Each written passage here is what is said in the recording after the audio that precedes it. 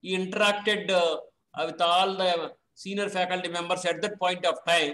Probably when he was the uh, director IIT Madras, um, later he occupied the position of AICTE chairman, and also he was the member of many uh, academic bodies at uh, national level, uh, and also interacted with uh, many members of the committees and uh, formulated many policies which was very much useful for the country.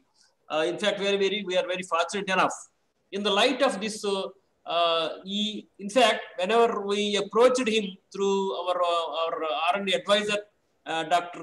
D.R. Prasad, Prasad Raj Garu, he immediately accepted to interact with our uh, faculty members are one of the themes that is uh, National Education Policy 2020. in fact, we are very happy, uh, happy, sir. Uh, in fact, the government of India has brought out this new education policy 2020 with a uh, vision, with a forward vision to improve the quality of technical and higher education system in this country.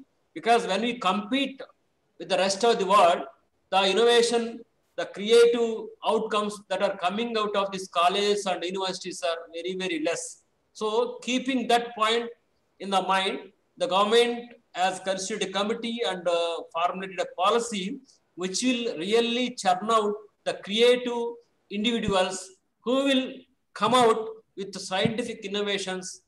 Through, through that scientific innovations and also manufacturing some of the products presently which we are depending on the other countries in the form of uh, what you call that uh, uh, importing the uh, goods and services, which is uh, which is very very Uh, where we are spending uh, lakhs and that is millions of dollars of foreign currency. So with this point in mind, with this point in mind, the government has came out with new education policy.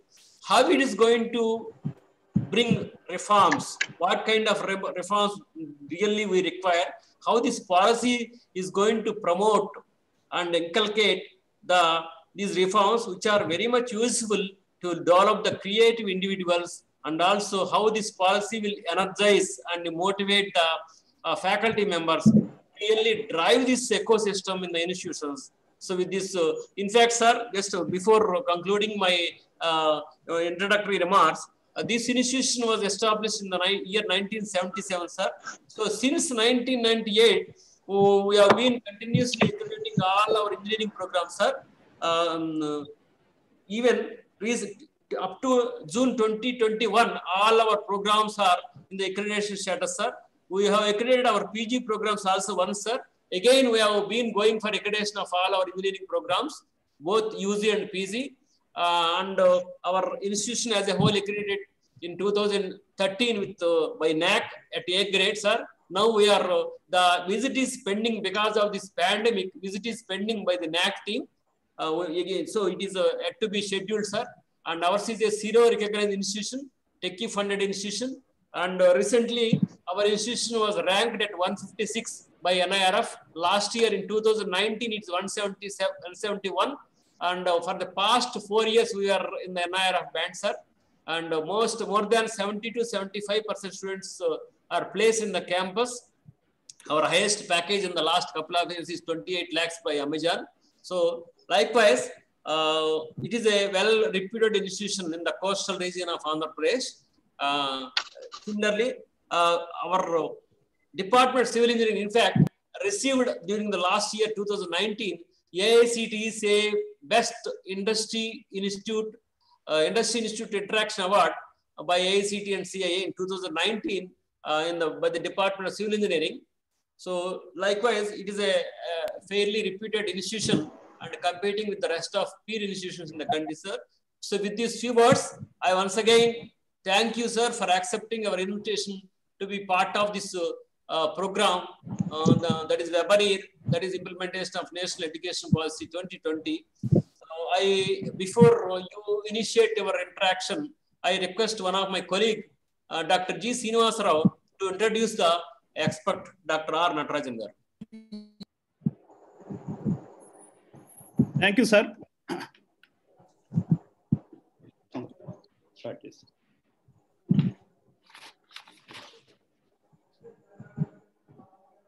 Good morning to everyone.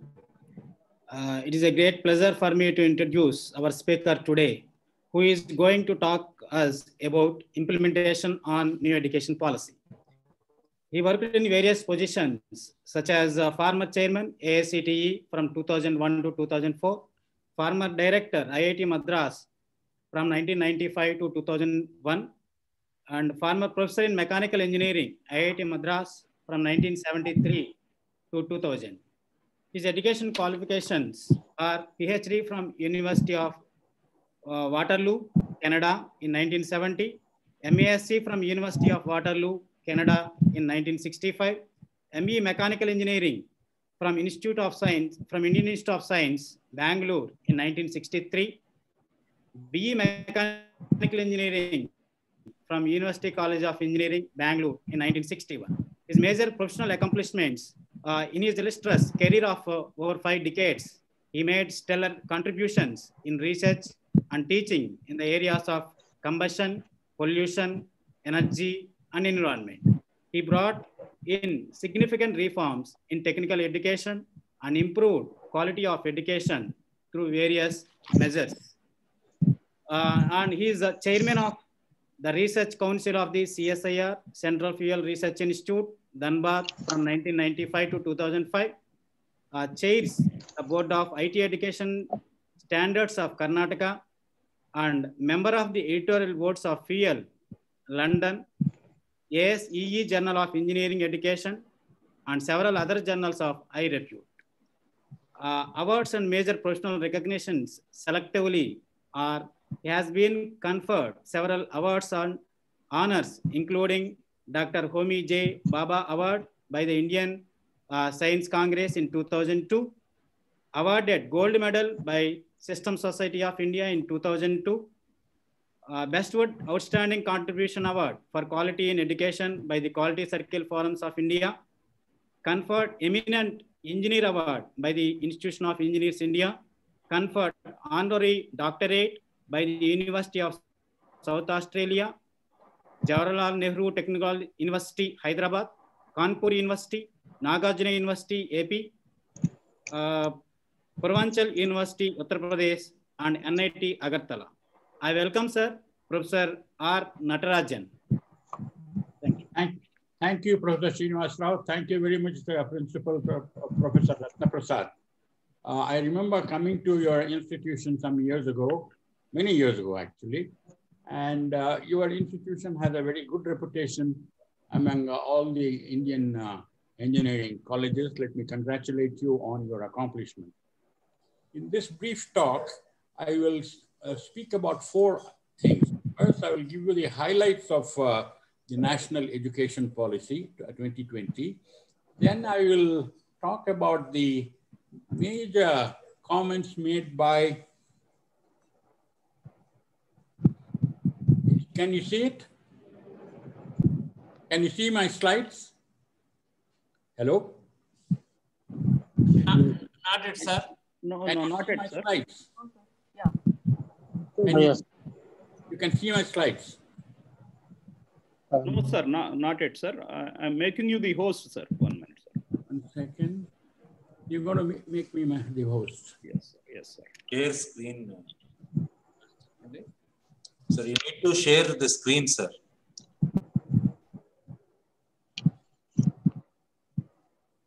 I'm looking for the icon. At the bottom of the screen, you find share screen, sir. Share screen button. At the moment, I don't. Yeah, okay.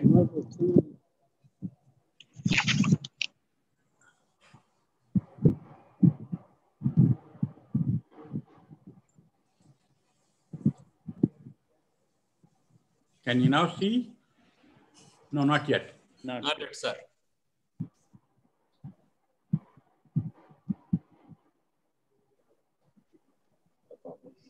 E. e. I thought, I thought we had checked this. Uh, yes, sir. Yes, sir. Now we can see your screen, sir. You can see my screen. Yes. So I will. Uh... Now start presentation, sir. That's it. I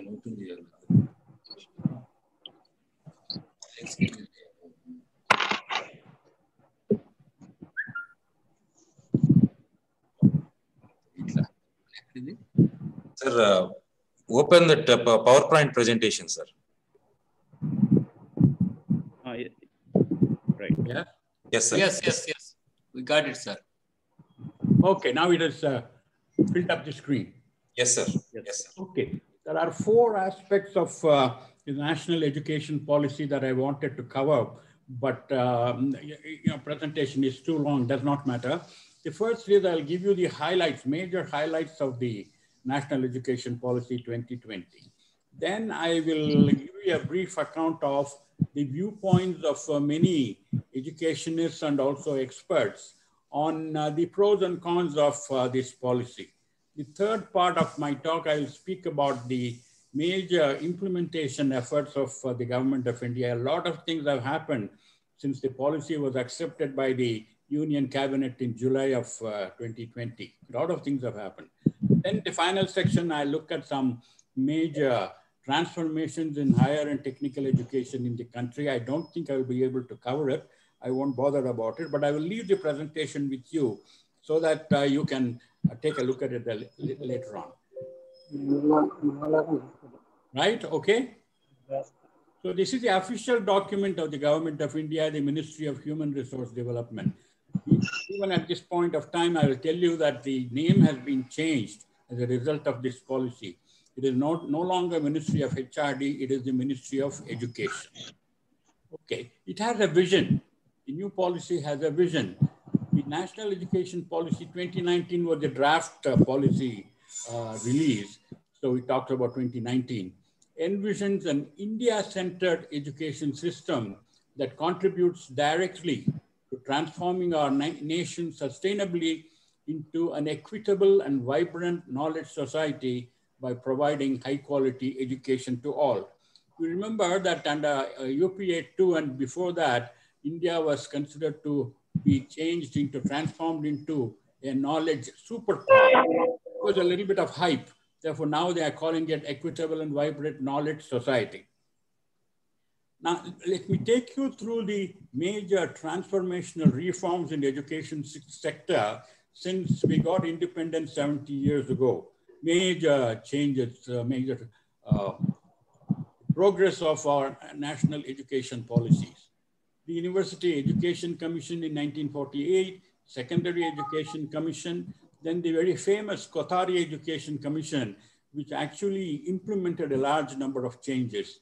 The national policy in education first came in 1968, and there was a 42nd constitutional amendment in 1976, which put put education in the concurrent list. Basically, what it means is both the state government as well as the central government have equal responsibility, equal or whatever, the responsibility and accountability for changing the education system.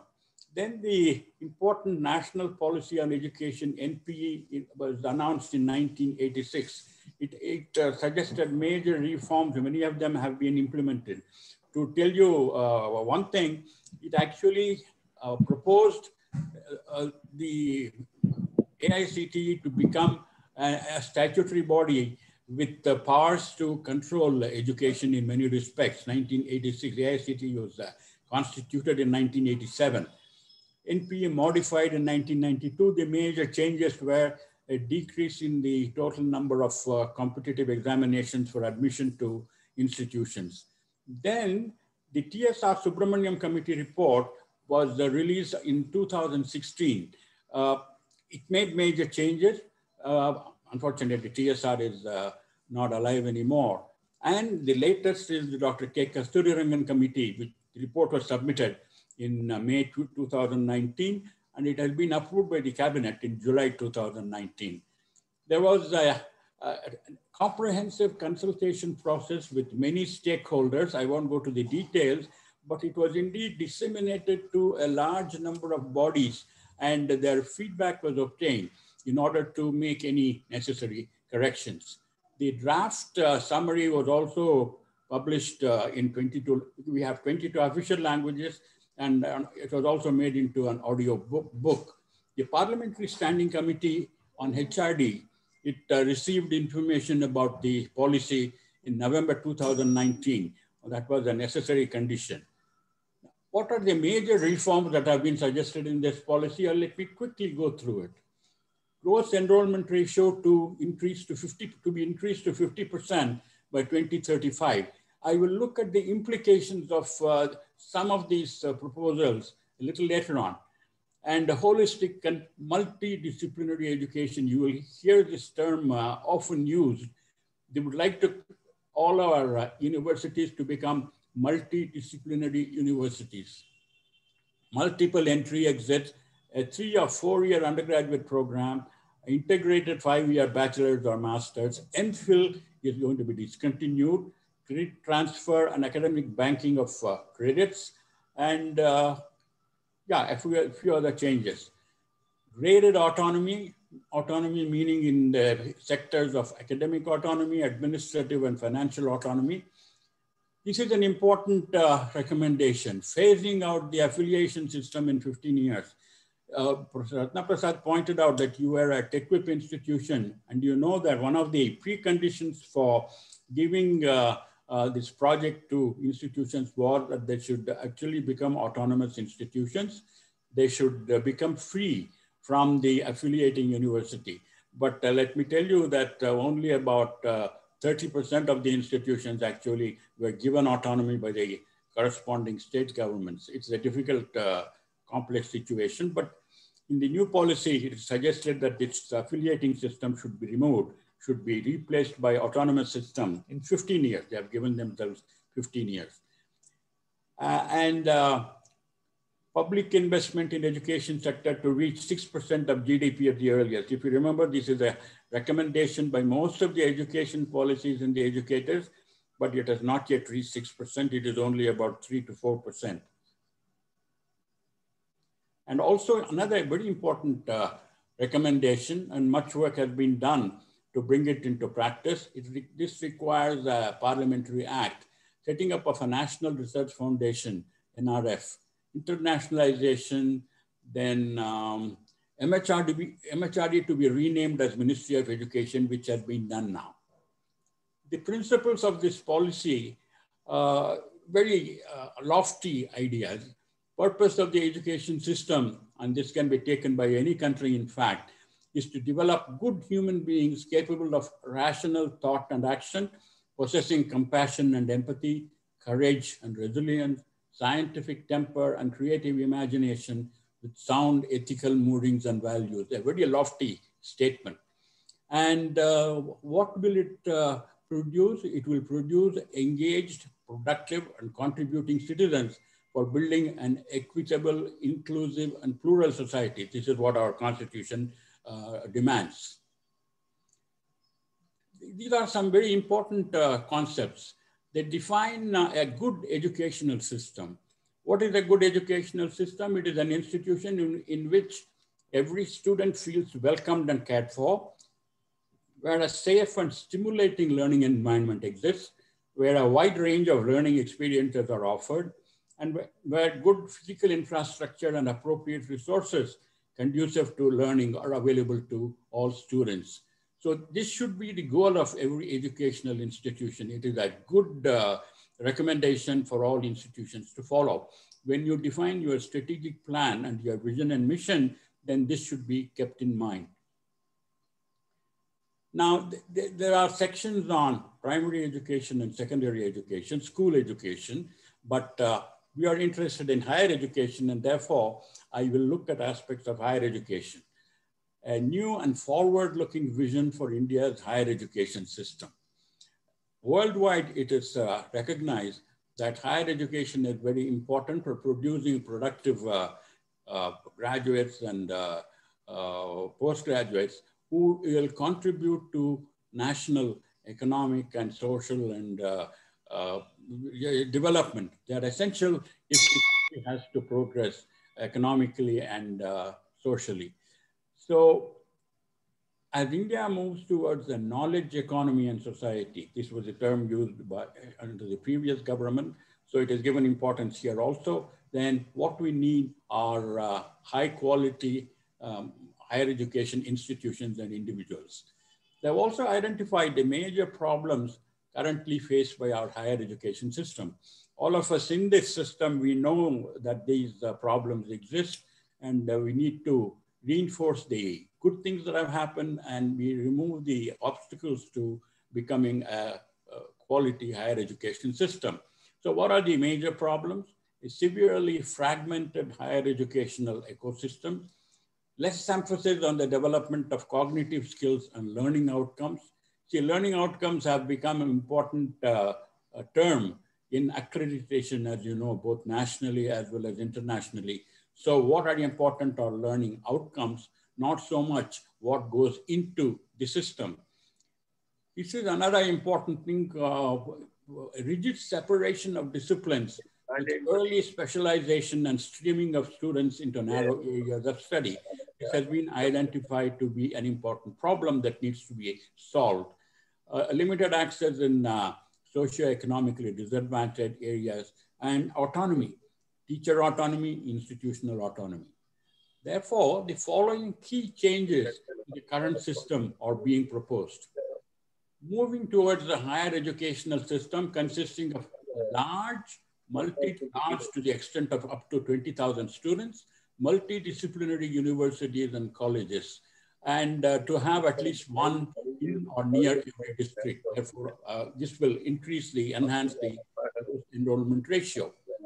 Moving towards a more multidisciplinary undergraduate education, faculty and institutional economy, um, autonomy, enhanced student experience and the establishment of an NRF, National Research Foundation, to fund outstanding peer-reviewed research. Governance is an important thing that we are focusing on, and institutions will be given autonomy to the extent that there will be self-governing institution. Light but tight is a term used in this policy more than once. And essentially what it means is light meaning the uh, nature of the regulations will, will not constrain the institutions from moving towards innovative institutions, but tight, meaning enforcement, enforcement will be tight. Like a regulator for higher education, the transformations that have been proposed. To increase the access, equity, and inclusion, and also look at ODL, the open distance learning.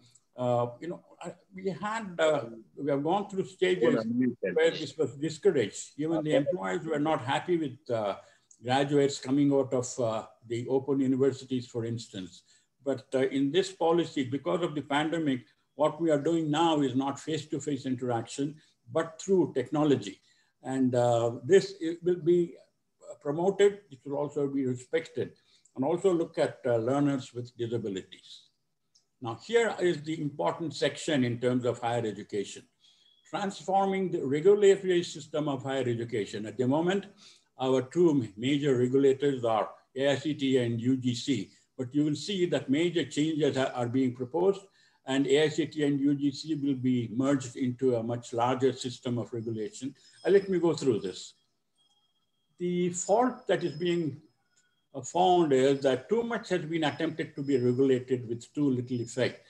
I, I, having been a regulator for three years, I don't think I'll accept this. But in any case, this is the general feeling that uh, they have that too much has been attempted to be regulated with too little effect. And heavy concentrations of power within a few bodies, um, leading to conflicts of interest among these bodies. I'm not sure that this UGC and AICTE, we have been working together in a very cordial fashion. But anyway, this is the general feeling uh, through some feedback. A complete overhaul they are planning to do. There are four major activities or areas or functions in uh, regulation of higher education. Regulation, accreditation, funding, and academic standard setting. Therefore, they will have four different bodies, the verticals as they call them, uh, to be performed by distinct, independent, and empowered bodies. These four functions are important. It will eliminate the concentrations of power. So there is an umbrella organization or an institution that they are talking about, and this is the Higher Education Commission of India. If you remember, under the previous government, when the National Knowledge Commission was making recommendations, they talked about an NCHER, National Council for Higher Education and Research. So this is an equivalent body. Uh, the new body is the Higher Education Commission of India. There are four verticals. The first vertical is the National Higher Education Regulatory Council. We have to get used to this uh, uh, nomenclature and the uh, acronyms. NHERC, National Higher Education Regulatory Council. It will function as the common single point regulator for higher education sector, including teacher education, but excluding medical and legal education, thus eliminating the duplication and disjunction of regulatory efforts by multiple regulatory agencies. This will require uh, repealing of existing acts and formul formulating new acts. Uh, but the important point is that it will be a single point umbrella organization for regulation. It's to facilitate the light but tight, uh, I pointed out, light meaning that uh, the um, regulation will not be too detailed. Uh, there will be amount of discretion which will be permitted, but tight, meaning whatever is proposed will be enforced very strictly in a facilitative manner, particularly functions uh, and activities that uh, will be required to be looked at by this body is financial probity, good governance, and things like that. The second vertical will be a meta accrediting body. It will be called the National Accreditation Council, NAC, not NAAC, but NAC. It will uh, include uh, the accreditation of all types of institutions.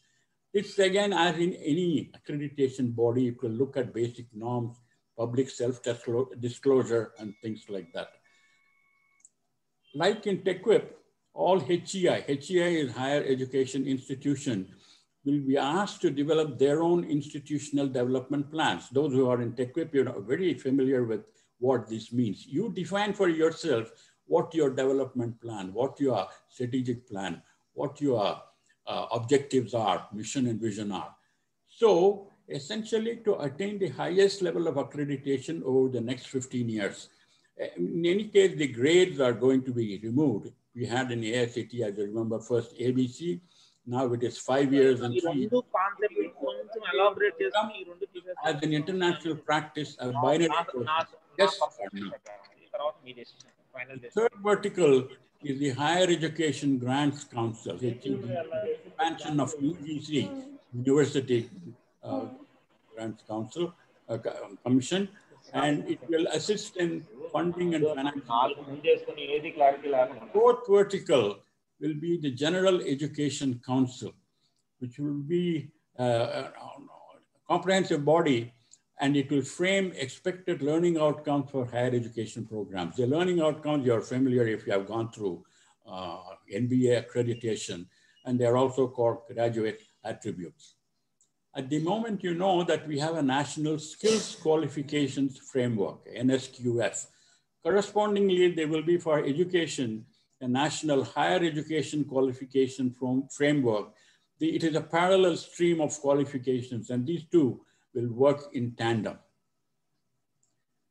What about the professional council, many professional councils we have, Indian Council for Agricultural Research, Veterinary Council, National Council for Teacher Education, Council of Architecture, Pharmacy Council of India, NCVET, and so on. They will be now, they will now become professional standard setting, professional standard setting bodies, PSSBs. Hello they will work along with uh, the uh, educational institutions in order to enhance the objectives of uh, these councils, but they will not have any regulatory role. At the moment, you know, the COA and the Pharmacy Council of India, they have, uh, uh, they play a considerable part in the regulation of uh, the, that, those particular professions. But the, here, they will only be professional standard setting bodies and they will have no regulatory role. This has been a very important uh, uh, area of uh, conflict uh, between private and public institutions. And from the beginning, it has been said that higher education is a not-for-profit uh, activity and any excess of uh, income over expenditure should be plowed back into the institution. So this will be a key, priority of the regulatory system and many checks and balances will be placed in order to prevent the commercialization of education. The other important activity which we realized under TEQIP, which is an important consideration for enhancement of quality of institutions is effective governance and leadership. So they are making many recommendations to uh, empower the institutions to govern themselves. Online and digital education, which are becoming very important in the current pandemic uh, era, ensuring equitable use of technology. Uh, realize that uh, technology, uh, digital technology, educational technology have important roles to play. And uh, many things which used to happen in a, a different manner, face-to-face, for example, they'll now be replaced by uh, the use of uh, technology.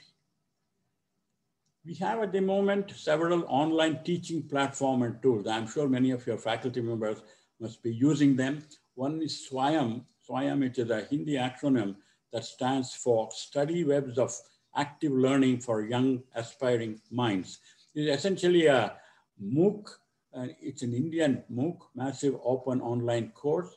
It uh, comprises uh, several uh, uh, detailed platforms, for example, uh, the technology and learning platform that IITs have created. So this includes all those things, but more of these MOOCs.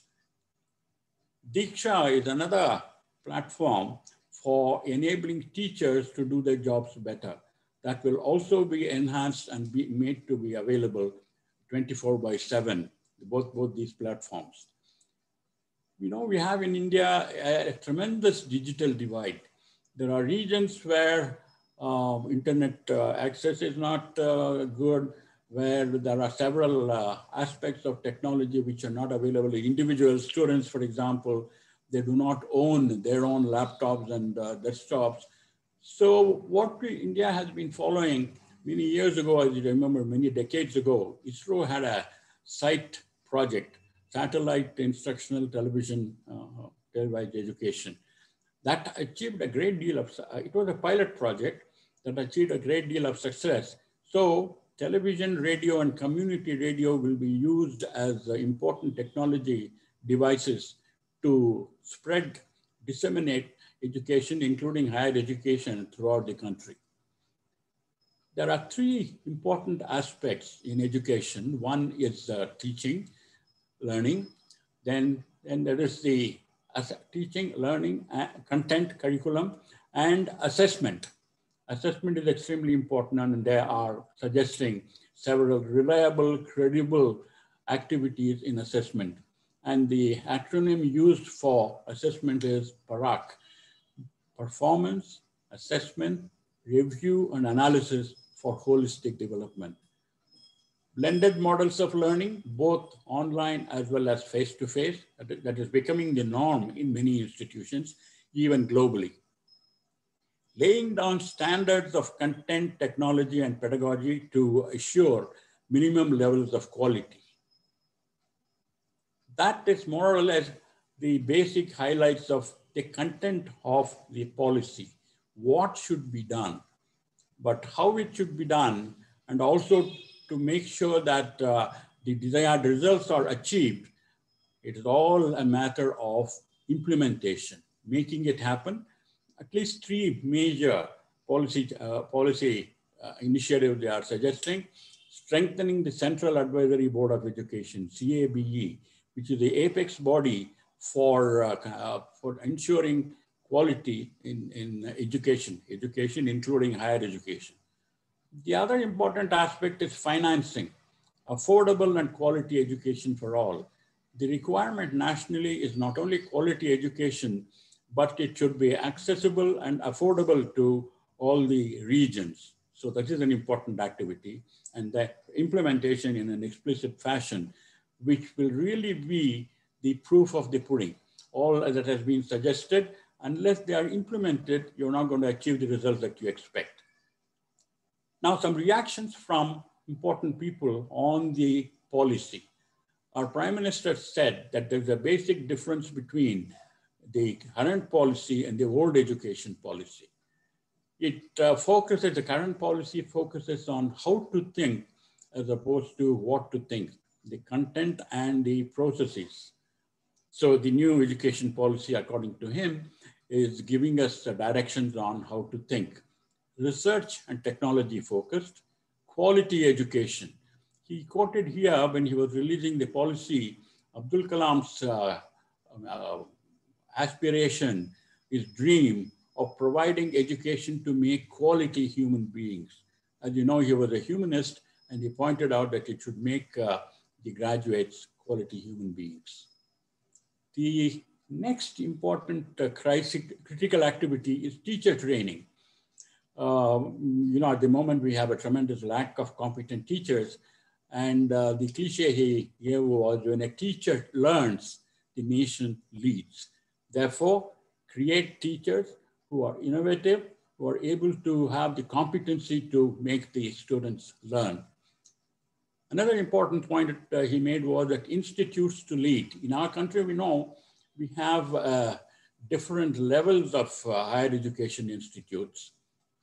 So the good ones should mentor the other institutions in order to raise their levels. This has been uh, employed in our country to considerable advantage. When the new NITs and the IITs were uh, started, initially, you know, they required some to hold on to somebody's hand in order to uh, move to higher levels of excellence and quality. So they had mentoring institutions and even in TEQIP, we had mentoring institutions and those that were being mentored. So within the system, to have the higher quality institutes to mentor those who are just now, just now starting. The mother tongue, which is an important uh, consideration in our country. We have 22 official languages and we have so many regional languages and uh, many political uh, uh, uh you know, considerations have come into play in, in terms of uh, providing the institution in mother tongue. We had we have nationally a three language formula a national language hindi voice clarity. and the regional language or the mother tongue. Another important uh, recommendation multiple exit option in in the new policy i will explain this at in a late, later stage in some countries for example in germany students can in a four-year program they can take the first two years, complete the program, and then leave in order to pursue other activities, including employment, then come back to the institution to complete the degree. A similar opportunity is being provided, multiple exit options. We talked about the Prime Minister, and here we are looking at the views of Dr. Kasturirangan, who was the chairman of the drafting committee. Uh, there was uh, an excellent interview of uh, Dr. Kasturirangan by reporters from the Mint magazine. Some of the doubts that might arise in our own minds, they asked the questions and got some clarification from the chairman. So why did you undertake the revamp of the entire structure after 34 years when the last policy was uh, promoted? Why they, at this particular time you wanted to have a new policy? So he pointed out that uh, transforming and creating a dynamic education system is fundamental for the progress of any country. You see, many changes have happened both in our own country in terms of the type of uh, uh, students which are coming into the system. And internationally, many things have happened, many innovations have happened, many um, changes have been made. So you cannot keep quiet when the whole world is changing, your own uh, stakeholders are changing. You had to look at the policy in a, in a, from a new point of view. The policy, it has been said that we need to have an open-minded approach to education. Can you explain that? He points out that uh, uh, education is multidisciplinary. For example, a chartered accountant cannot just study finance. He needs to study many other things, including sociological aspects and economic aspects. And uh, the critical characters of NEP is flexibility. The other point they made was a major recommendation is to allow foreign universities to set up campuses in India. So the question was directed in a different uh, fashion. Will the powerful private college university lobby allow it to be implemented? I don't think that is the point. In the earlier government, this was completely, you know, you know there were a, a large number of political parties which uh, vehemently opposed the setting up of foreign university uh, in India. No FDI, no foreign universities in India. But in this uh, policy, they are recommending, recommending the setting up of uh, foreign universities, campuses in India. So he also points out uh, that we are not talking about FDI in uh, higher education. We are looking at the top 100, 200, 500 world-class institutions. And in order to enrich our own education system, to learn from the success stories of other countries, so we would like to invite these people in order to help us. The idea, he says, is to open our minds to excellence. The other important point, the number of seats in premier institutions like the IITs, IIMs, national law schools are too few for an aspirational country like India. So if you enhance the strength in these institutions, do you believe whether it will dilute quality? So his response, we have to enhance both the quantity as well as the quality. At the moment, we have about 900 universities and 40,000 colleges under UGC. What is required is to reconfigure the entire system, not only to enhance uh, the quantity or the enhance the strengths. So this reconfiguring of the system, they have made many suggestions. Have recommended that all institutions should be multidisciplinary, including the IITs. At the moment, as you know, they focus on technology. However, in your own institution, you have uh, several uh, courses and programs in the humanities and social sciences, physical sciences, chemical sciences, and so on. So I'm not so sure which is, it, it is a valid uh, complaint. But anyway, the goal should be to restructure and not just increase the intake. So you should look at this requirement of enhancing the GER as restructuring rather than just increasing the intake. Then there's a really troublesome policy uh, problem of mother tongue and local language as a medium of instruction. There are some states like the Tamil Nadu where they use only the two language formula and Hindi is not really welcome. So the question here is, whether the Indian children will be at a disadvantage in a globalized world due to lack of English. So he points out that the three language formula actually permits you to have uh, English in, in the curriculum. What about teachers? They are the pillars of an education system. How do you create enough teachers and competent teachers and those who are interested in teaching? This has been a problem. As you know, our current graduates, they look for greener pastures in uh, industry and business and things like that. And there are not too many bright young students who want to enter the uh, teaching profession. So here, the, uh, the, the kind of solution that they give is teaching or teacher education will be a separate career within the university system. It will not uh, happen in the teachers training institute, but within a higher education university, there will be a department of uh, teacher education. Rote learning and outdated evaluation seem to have been the problems. So they are talking about more focus on the so-called formative assessment, as we are doing in the semester system and continuous evaluation, and not depend only on a three-hour final examination in each subject to assess the students. The next issue is, how do you think we can get our colleges and universities to do world-class research, which will eventually benefit society. Uh, he uh, condemns uh, the current situation. The research in our universities is highly unsatisfactory. I must even say it is dismal. When you are in the frontiers of research, research uh, points out that you get good teachers. So, in, in, you know, implying that if you are a good researcher, you will also be a good teacher. I wish to point out here the example of Boltzmann. He was a great scientist, a physicist, but students used to shudder to go to his classes, essentially because he was such a bad teacher.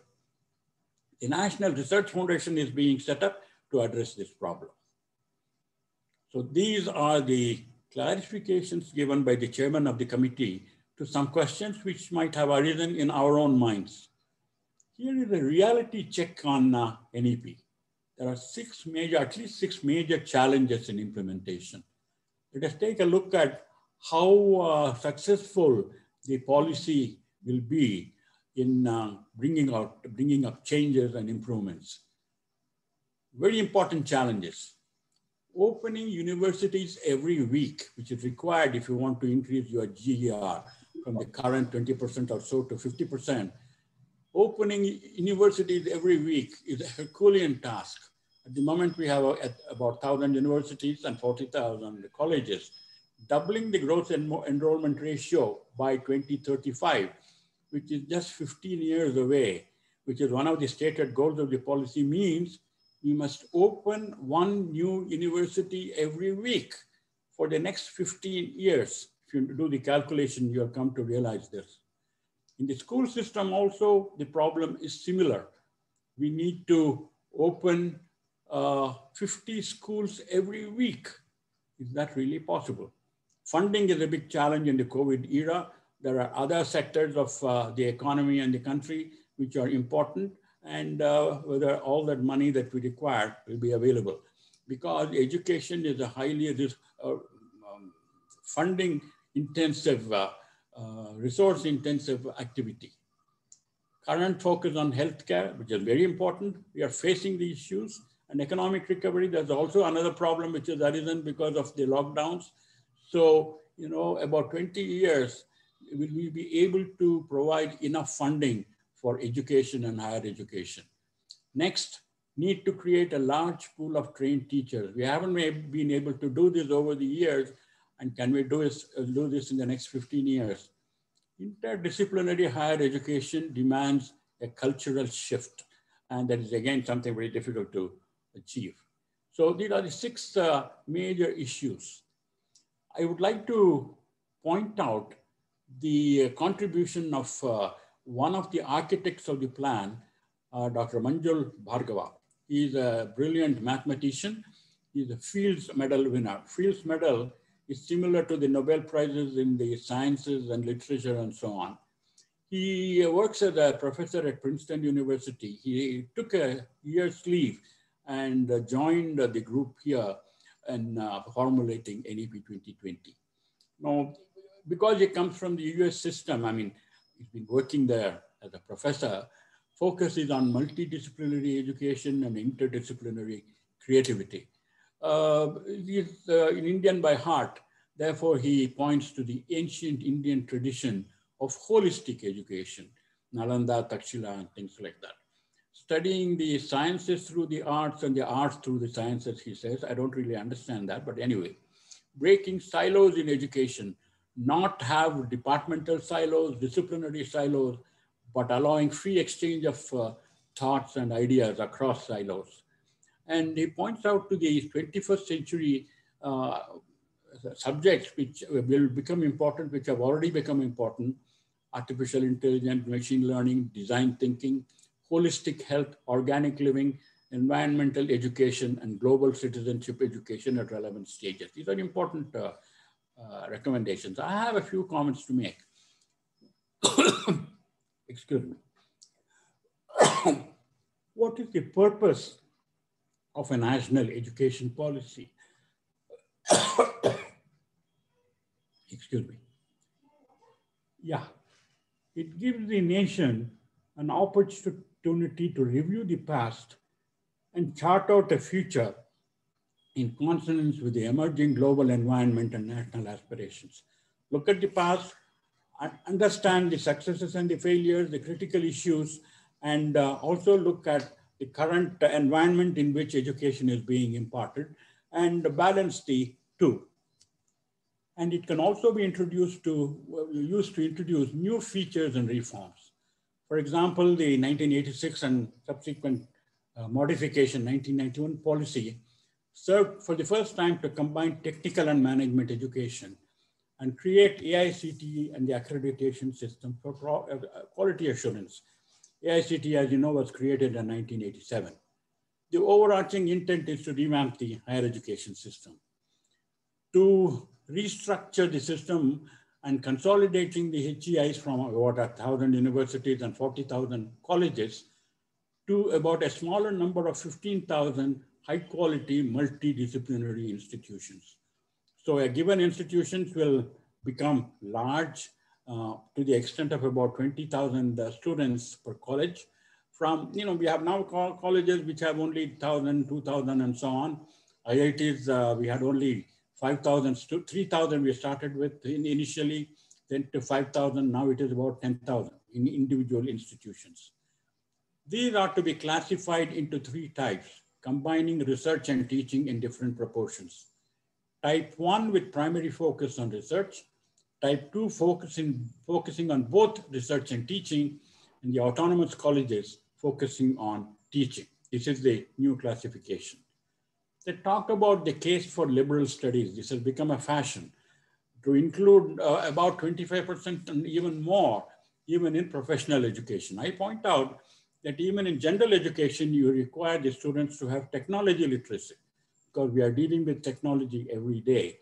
So it is um, more important to introduce uh, STEAM learning, STEM and STEAM, science, technology, engineering.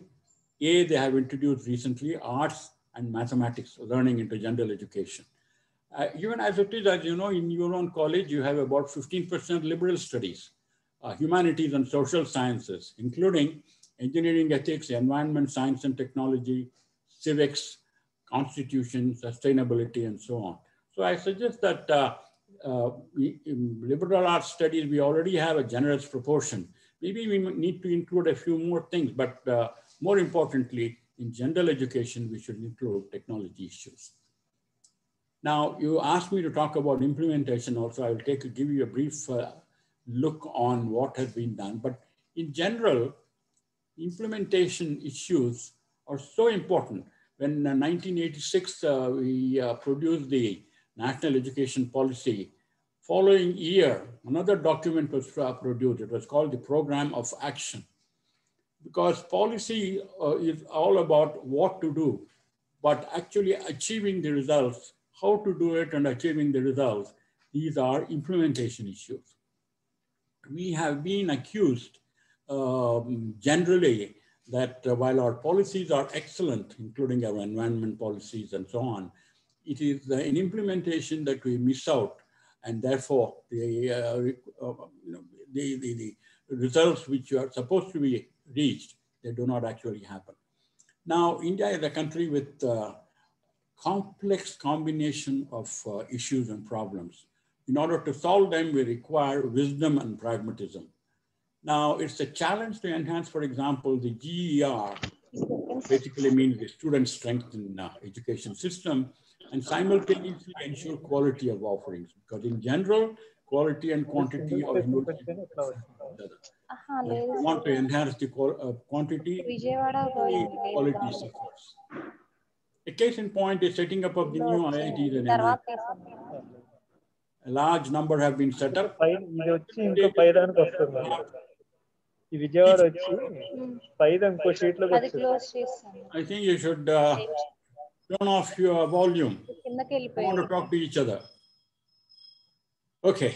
So initial period, we had a lot of problems you had mentors uh, to help these uh, new institutions to stand and on their own feet and become uh, independent, uh, excellent institutions. But it has happened actually. Therefore, there is hope for that. Resources, vitamin M. At the moment, as I said, it is about 2%, 2.5%. We want to increase it to 6%. Education is a resource.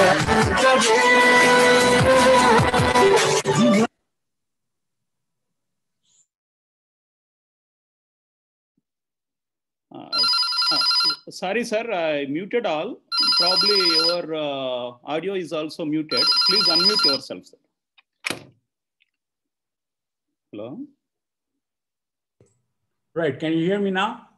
Yes, sir, yes, sir. Okay. The next issue is the faculty crunch. Young people, young graduates are not interested in entering the teaching profession. We have to make teaching an attractive and challenging career option, as also give respectability to the teaching profession. Governance, there are several issues. In TEQIP, as you know, the first stage was enhancing the uh, quality of undergraduate education, enhancing their employability. And, and then postgraduate education, and also research. And the third aspect, which we recognize to be as important, or if not more, than the other two aspects was good governance. Institutions are not doing what they are supposed to be doing because the governance is, uh, uh, is not up to the mark. And therefore, we produced a good governance guide, the so-called green book. It gave several important recommendations on how an institution should govern itself. And the transition from the old to the new should be a smooth one with no disruptions. The policy should reflect continuity with change. If that does not happen, you will go through a period of uh, enormous disruptions. The policy should include Indian cultural traditions. Apart from the internationalization or globalization of educational practices, we have our own cultural traditions which should not be uh, given a go by. And essentially, harmonious integration of education and skill development. This we have been able to do to some extent because of the two uh, frameworks. The policy must combine national aspirations and regional interests. The national objective should not be at the expense of uh, regional objectives. We should also take a look at the future and futuristic student. This planning is not only for the present, but also for the immediate and the far term future. Because that is, uh, when we educate a student to become a graduate, it takes four years. And in four years, so many changes take place. So we define what is called the half-life of education.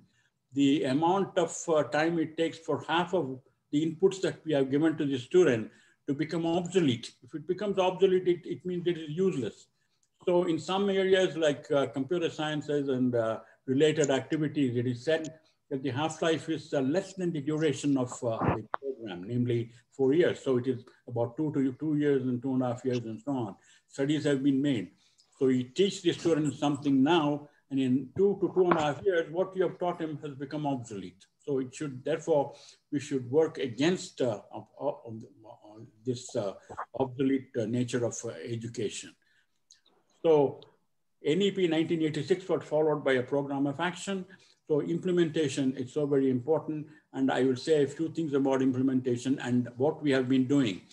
I must say it is a very, uh, very promising uh, fact that uh, the Ministry of Education has taken considerable interest and uh, it has done a lot of things. I'll give you a list of about, uh, I mean, yeah, about 12 slides I have on that.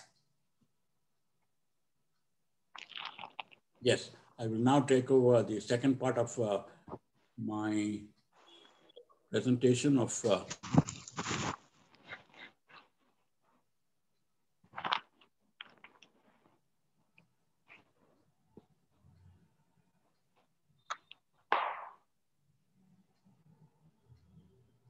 yes.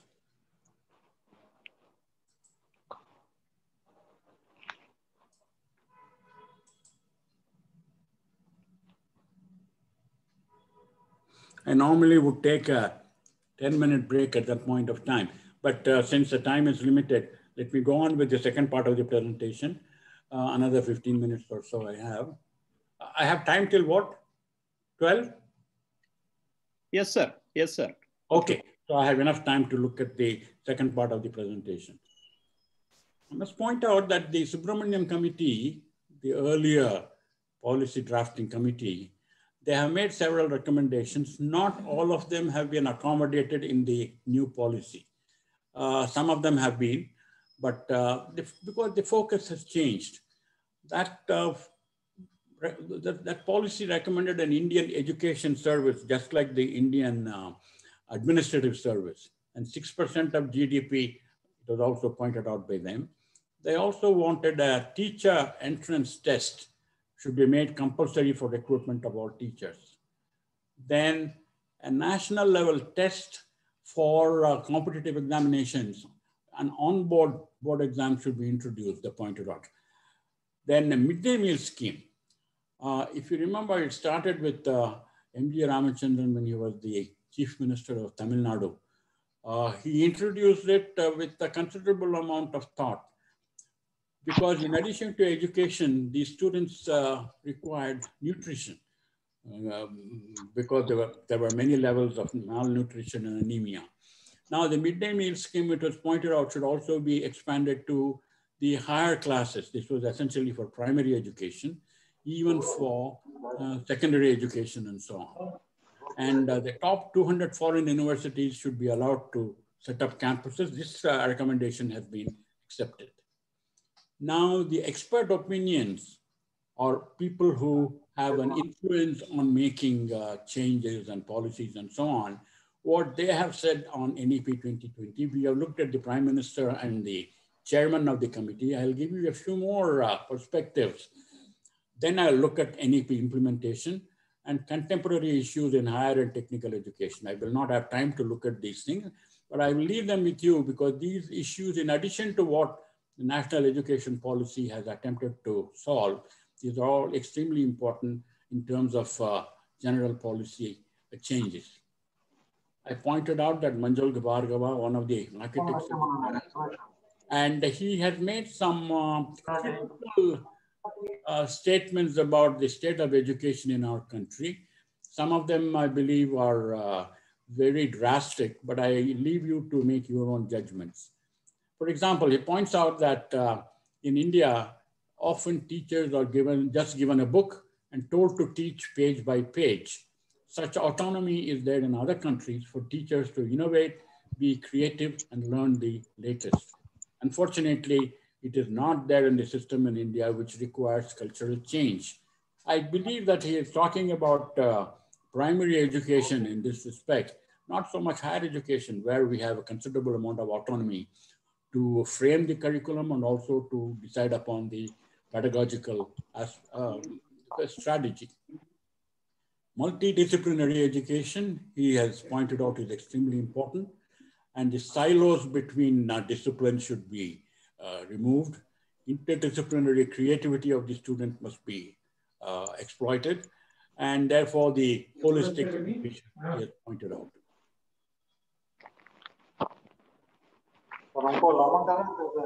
The other important thing is students should be able to choose curricula, namely the subjects and skill sets as per their choice as well as interest. In fact, he gives an example of physics and music to be taught together.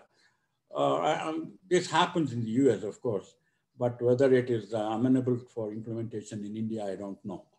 Then uh, the latest subjects that should be introduced according to him, which is a very important fact, is artificial intelligence, design thinking, holistic health, organic living, environmental education, and global citizenship education at relevant stages.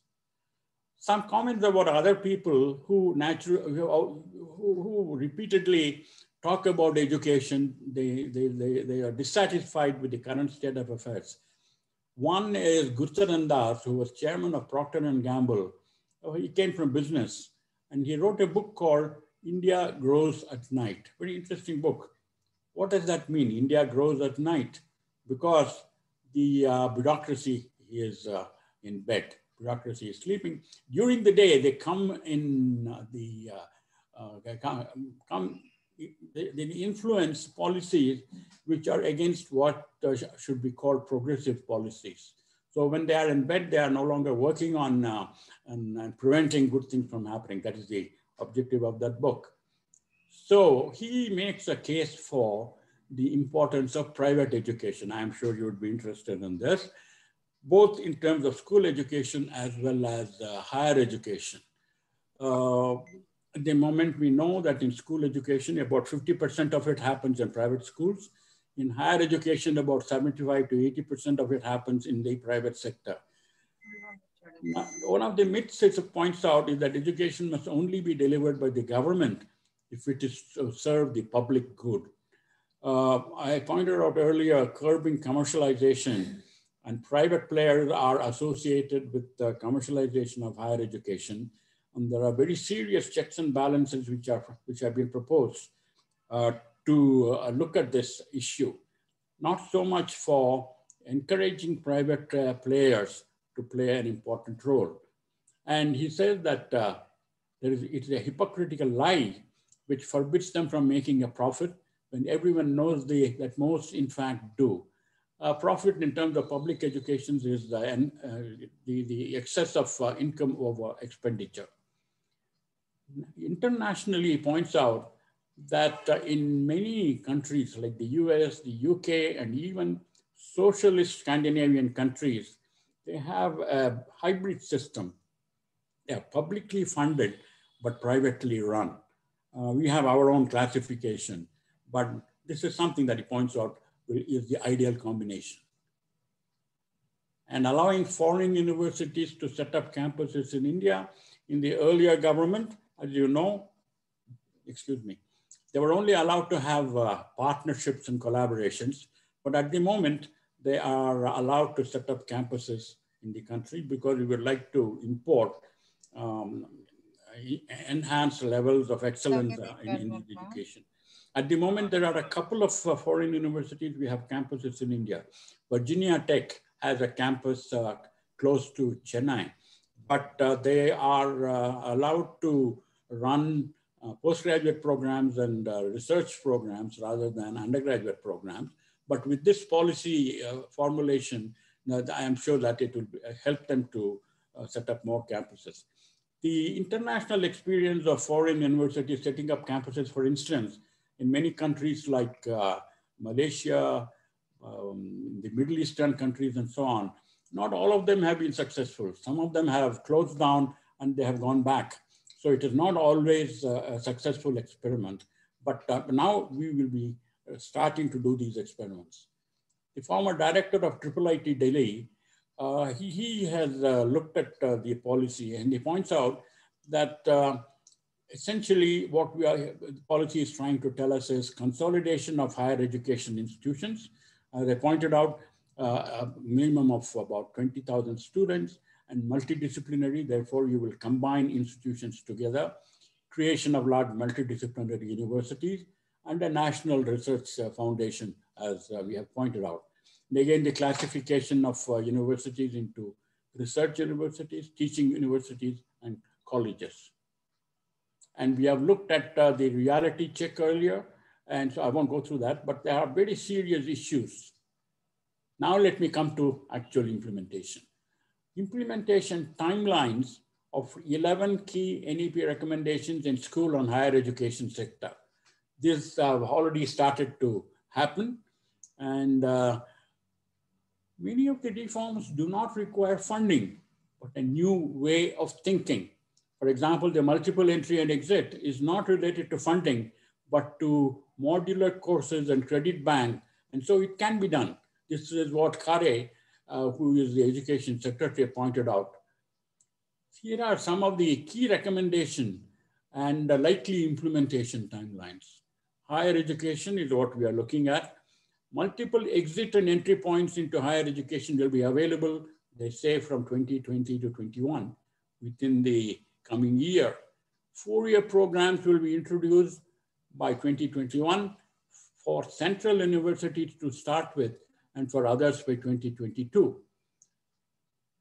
NEP allows the higher education institutes to offer undergraduate degree that can be either three or four year duration with multiple exit op op options within a year. Again, if you remember, Delhi University had a serious crisis when uh, the vice chancellor, uh, he, he, suggested the uh, um, starting of courses of four-year, undergraduate courses four-year duration. People said that it was to enable uh, the students to match with the requirements in the US system and it adds nothing to the Indian system. A lot of problems, it was, uh, I don't think it was really implemented. But the new policy talks about four-year undergraduate programs and this they call uh, research experience. We'll take a look at it later on. So what are these multiple options? A certificate after completing one year in a discipline or field, including vocational and professional areas. A three-year program, for instance, The first year you complete and you leave with a certificate. And with a, an opportunity to come back to complete the degree, uh, which is a terminal degree, uh, in another two years. A diploma after two years of study, or a bachelor's degree after a three-year program. Four-year program will be an multidisciplinary program, and uh, it will have uh, research experience as one of the components. Academic Bank of Credit, ABC, will be established. Therefore, you can bank the number of credits that you have uh, earned, and that will um, enable you to complete the program after uh, you have completed a certain number of uh, research. As I said, the degree with research for the four-year program. Common entrance test will be worked out by February or March 2021 and administered possibly by May 2021, that is next year. And a national testing agency as a premier testing agency will help in the administering of uh, these tests. The important thing, the common entrance exam shall test conceptual understanding and the ability to apply knowledge and shall aim to eliminate the need for taking coaching for these exams. Because as you know, the coaching classes are often uh, criticized for giving an undue advantage to those who can afford it. And although also the universities are constant competition with the coaching classes in terms of uh, the examinations and the results. And Indian institutions setting up campuses abroad and allowing foreign universities to set up campuses in India, the implementation dates are unclear. Still a lot more thinking needs to be done. Achieving 50% GER, including vocational education by 2035. The NEP has, suggests many things which are common sense suggestions. Underserved regions to uh, be, have more of these institutions and to enhance the existing strength uh, in, in, in uh, existing institutions. Uh, and as I pointed out earlier, the implementation is a nightmare. You need to start uh, every week, so many institutions. And a national professional standards for teachers, similar to Subramanian committee, which suggested national entrance test.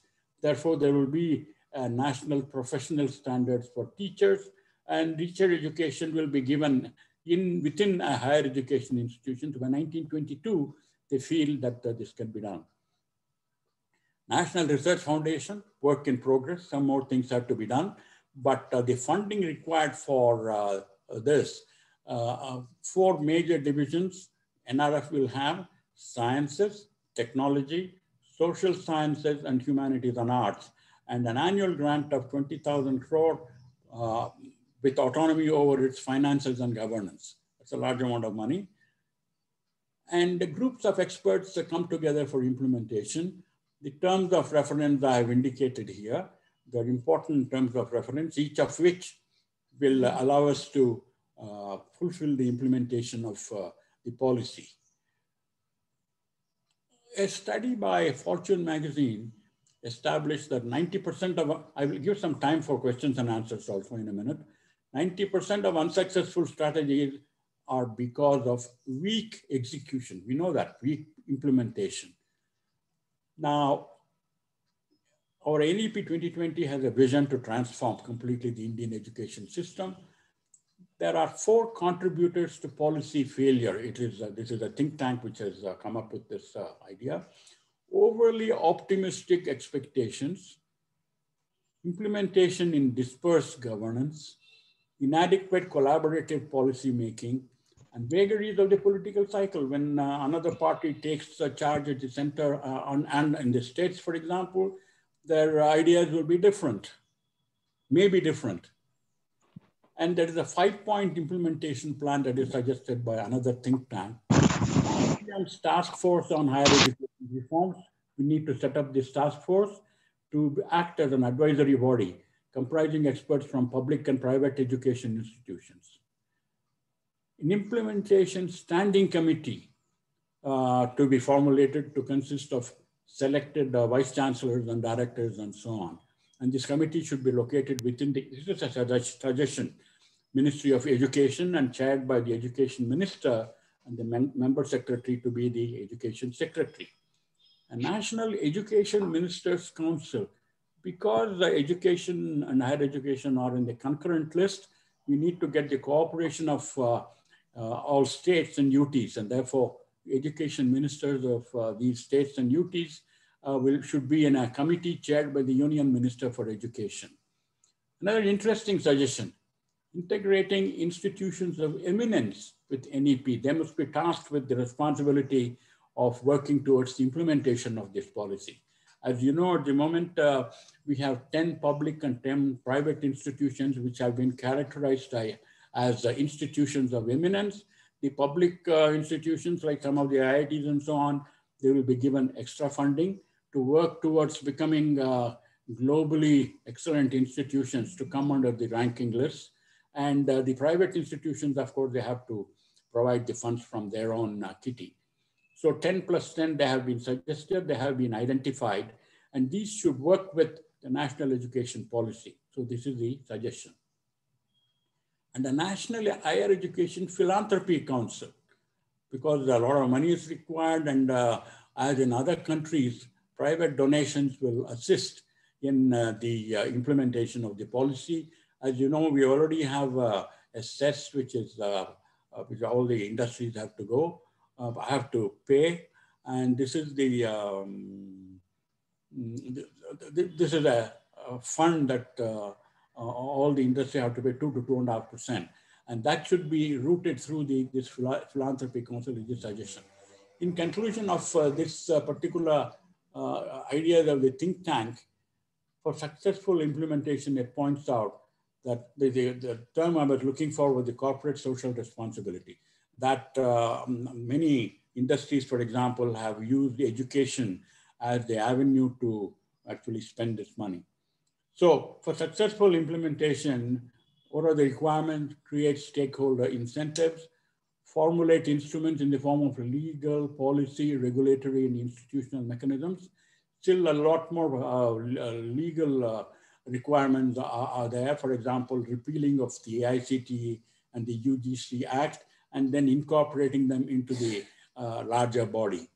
Build reliable information repositories, develop adaptability across HEIs, regulatory bodies and government agencies to work together, develop credibility through transparent actions and participation of all stakeholders, and develop sound principles of management.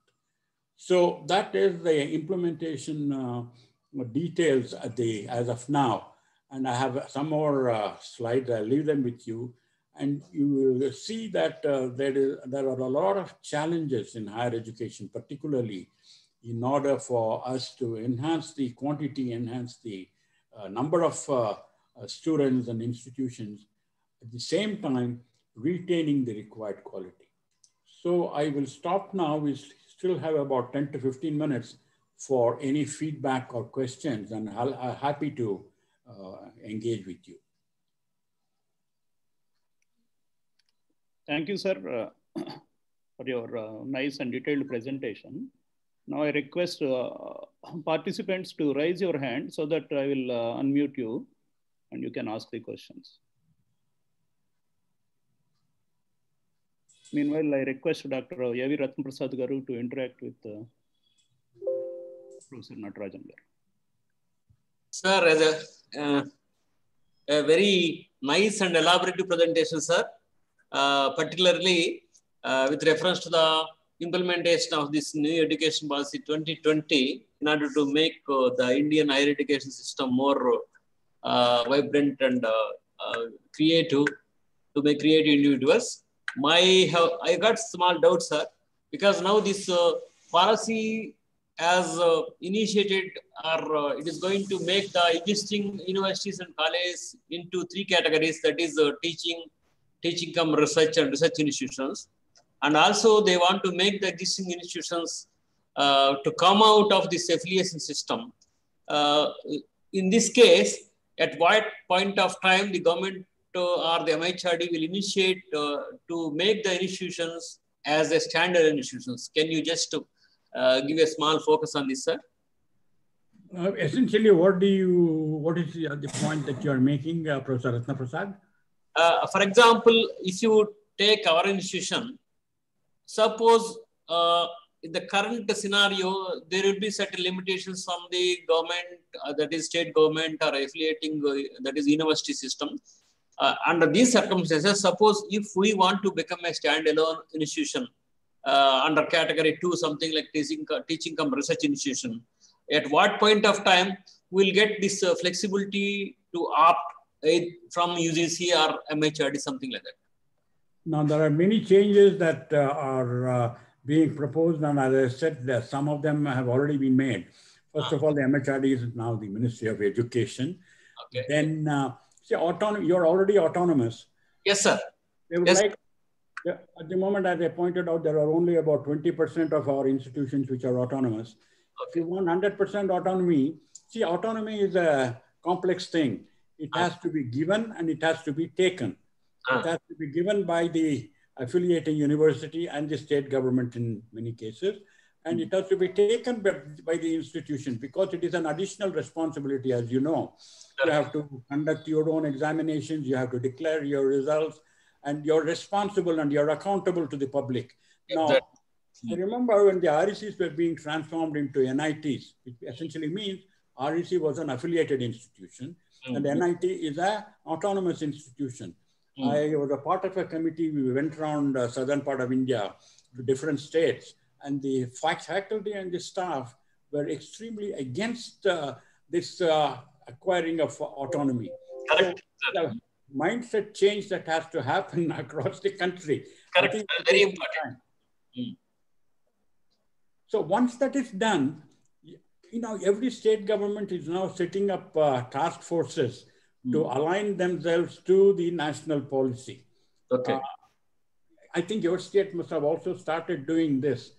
At Okay. which you will have an opportunity to indicate uh, the difficulties of implementation and what enabling features you have to, uh, your, your state government has to provide. So that is an opportunity for you to uh, ask for enabling factors. Okay. Okay, sir. Thank you, sir.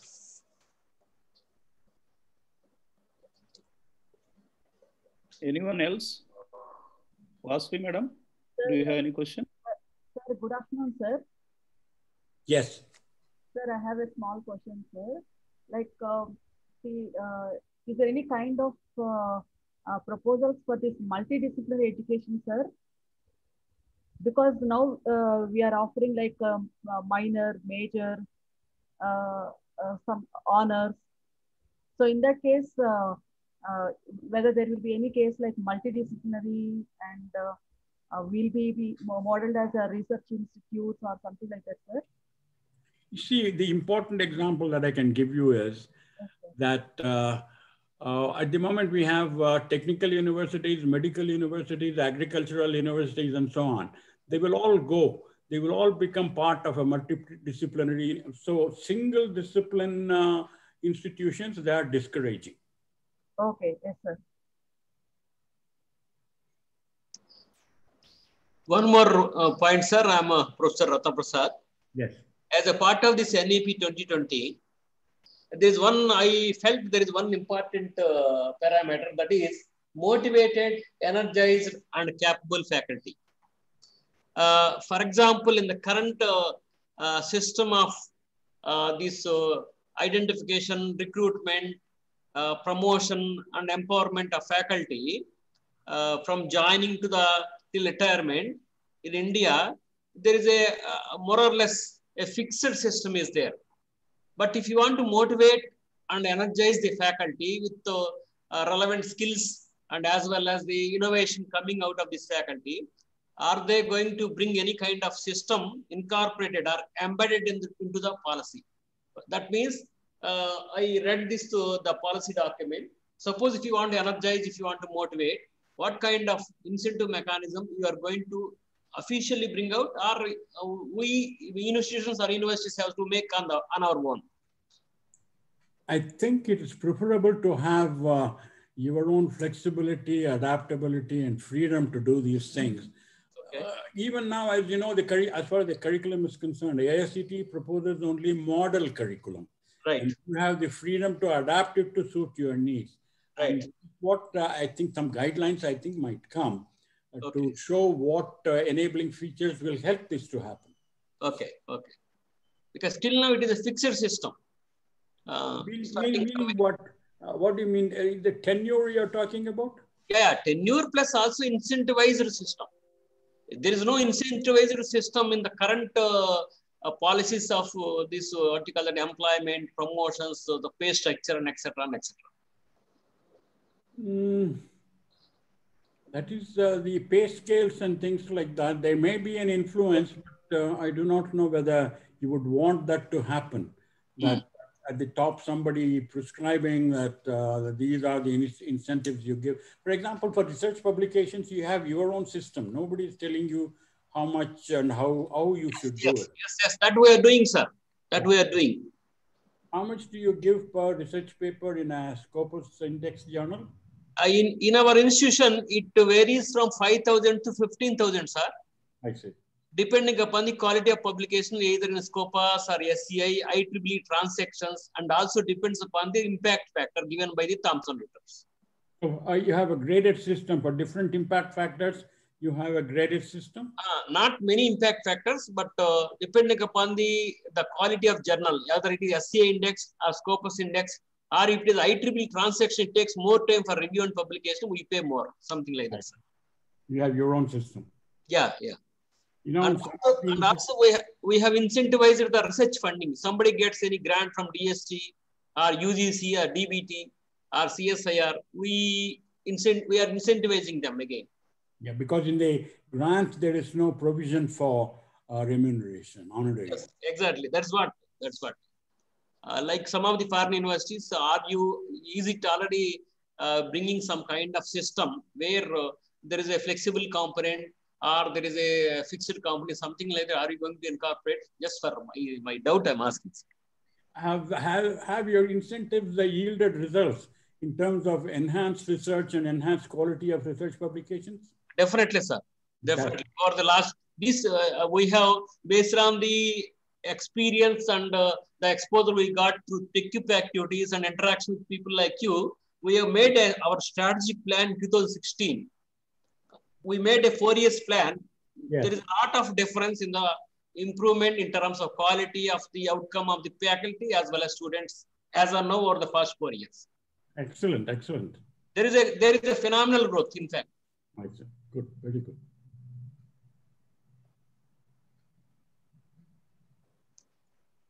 Any other Okay, any more questions from the participants?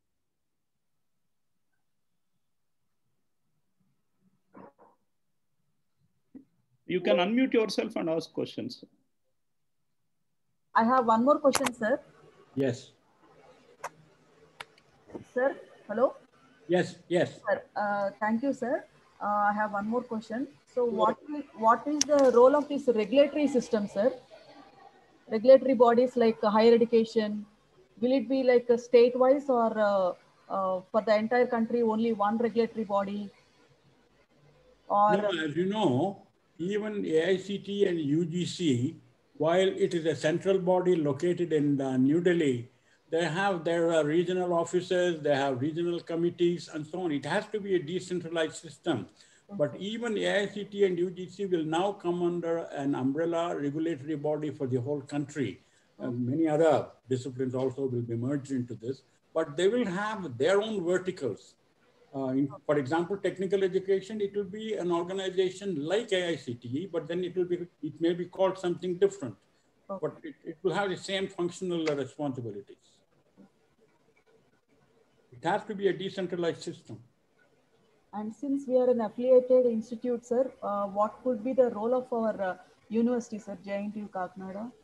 Okay, uh, uh, can you speak a little louder and can you please repeat the question? I couldn't get it. uh, what will be the role of our affiliated universities, sir? JNTU Kakinada. We are uh, currently affiliated to the universities. So in this new educational kind of thing, uh, what could be the role of the affiliated universities, sir?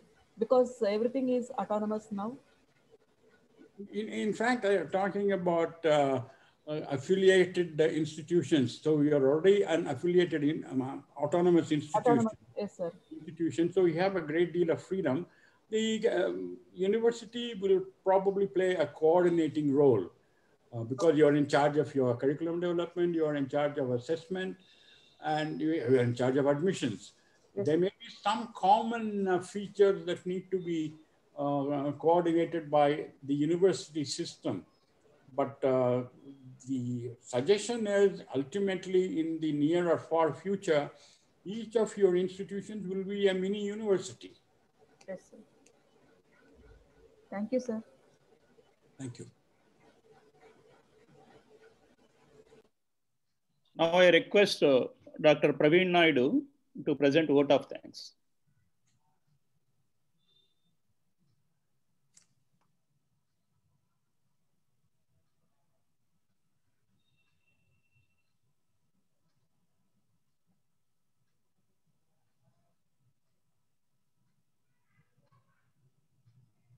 Praveen garu, please go ahead.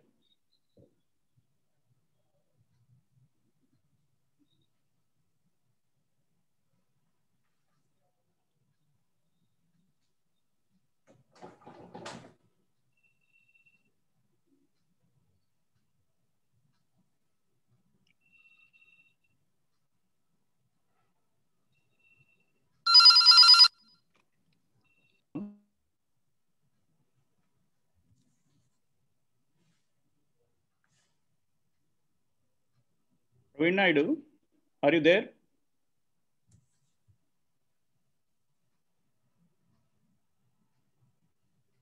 Okay, I take over the responsibility of presenting vote of thanks. On behalf of uh, Institution Innovation Council and the Department of Civil Engineering, I thank Professor R. Natarajan sir for uh, his wonderful presentation and for enlightening us on this new education policy and also Dr. uh, A.V. Ratnaprasad Garu for giving us this opportunity, and uh, Dr. Prasad Raj Garu, our R&D convener, and uh, our, my esteemed colleagues for uh, extending their cooperation and their students. all of you, uh, big thank you for this uh, event to, to make a big success. Thank you, sir. Thank you. Thank, Thank you, you. Professor Ratnaprasad.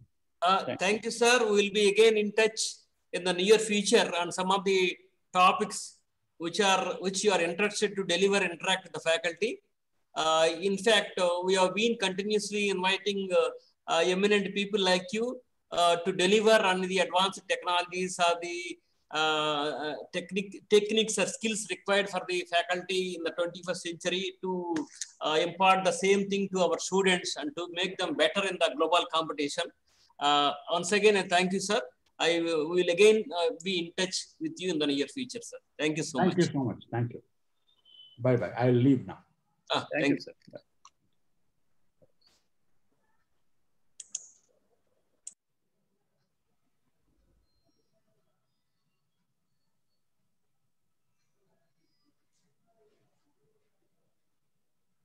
Okay, sir. I'm closing the meeting, sir. Thank Yeah. you, sir. Thanks. Thanks.